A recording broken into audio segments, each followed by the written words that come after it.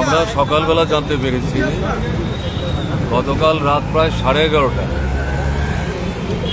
আপনার কল্যাণপুর সংলগ্ন দ্বারিকাপুরে শিলপাড়ায় আমাদের এই কমরেডের বাড়িতে আক্রমণ হয় এবং আহত অবস্থায় তাকে কল্যাণপুর হাসপাতালে নিয়ে যাওয়া হয়।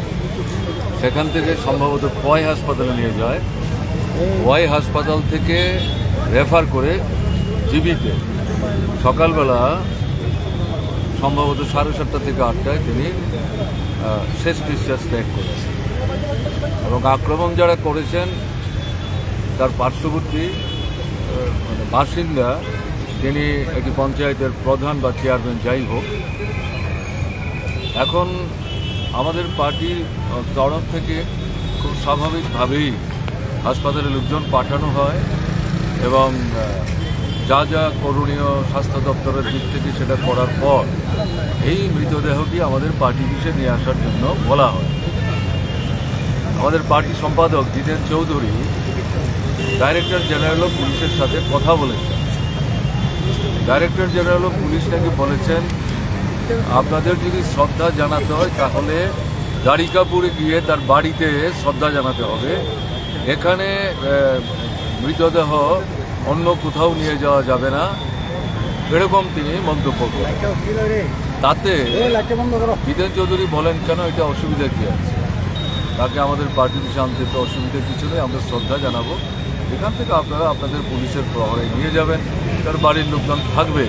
আমরা তো অন্য কিছু সমস্যা আপনাদের তৈরি করছি এটা নিয়েই দেখা গেল আড়াইটা অবধি পার্টি দিশে আমরা অপেক্ষা করছি।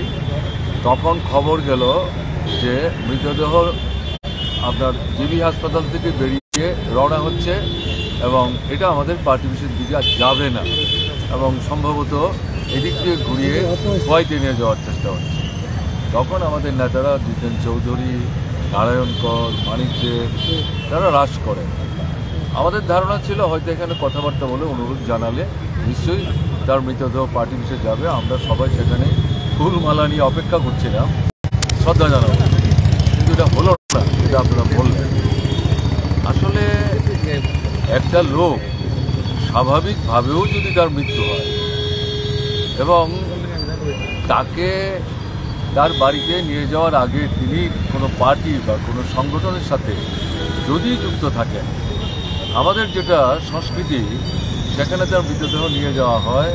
তার সহযোগী যারা, তার বন্ধু যারা তারা তার স্মৃতির প্রতি শ্রদ্ধা জানান এবং তার পরিবার পরিজনদের পক্ষ থেকে যারা থাকেন প্রাথমিকভাবে তাদের প্রতি সহানুভূতি ব্যক্ত করে এটাই দস্তুর।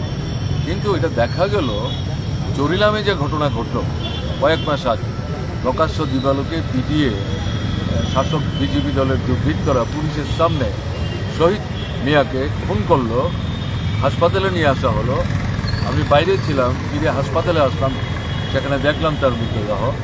তার পরিবারের লোক অপেক্ষা করছেন। পরদিন সকালবেলায় তাদের হাতে মৃতদেহ হস্তান্তরিত হবে। তারা চরিলামে নিয়ে যাবেন আমাদের পার্টি বিষয়ে।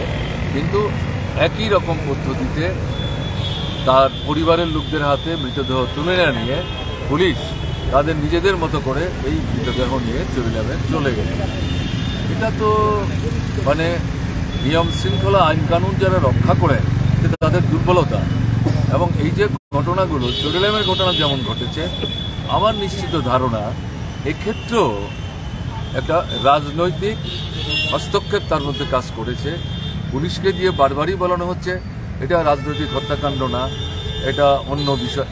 যে কোনো বিষয়ই হোক, এখানে তো যে বন্ধুটি প্রয়াত হলেন, তিনি খুন হয়ে গেলেন। তিনি আমাদের সমবেতী, আমাদের সাথে কাজ করেন এবং এই নির্বাচনেও তিনি কাজ করেছেন। তো তার মানে প্রয়াত হওয়ার পর আগরতলায় তাকে চিকিৎসার জন্য নিয়ে আসা হয়েছে। এখান থেকে তার মৃতদেহ আমাদের পার্টি পিছনে শ্রদ্ধা জানানো যাবে না। এটা তো অমানবিকতা। কোথায় আছি আমরা? একটা সুস্থ সমাজে এরকম হতে পারে? এটা তো আনসিভিলাইজ সোসাইটি না হলে এরকম হতে পারে না।